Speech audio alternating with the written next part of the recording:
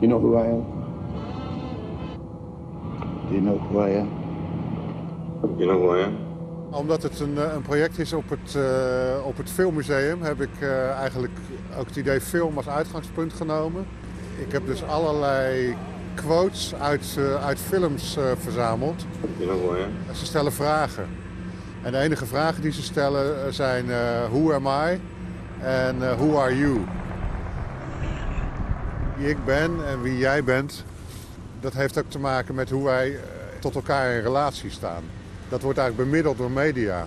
Wij staan met elkaar in relatie tot Facebook. Uh, of met een uh, mobiel.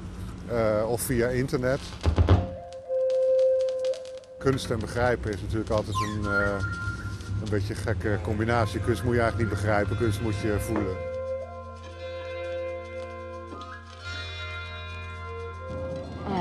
No, you're not. I am. You're not. I am. You're not. I am. You're not. I am. You are. Heel vaak in die films dan vraagt iemand, do you know who I am? En dat is dan bijna een bedreiging.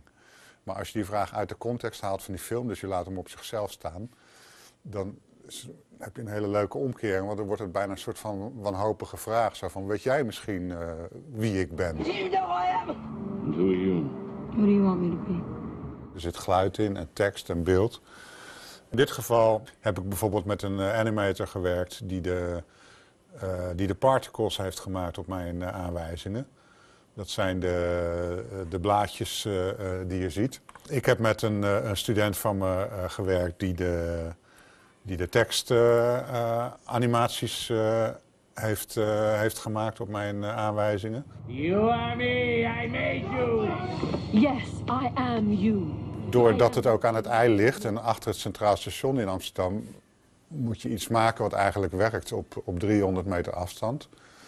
Maar ook weer als je op het plein zelf staat, recht uh, voor het ei. Dus ook weer iets wat ook overeind blijft op 20 meter uh, afstand.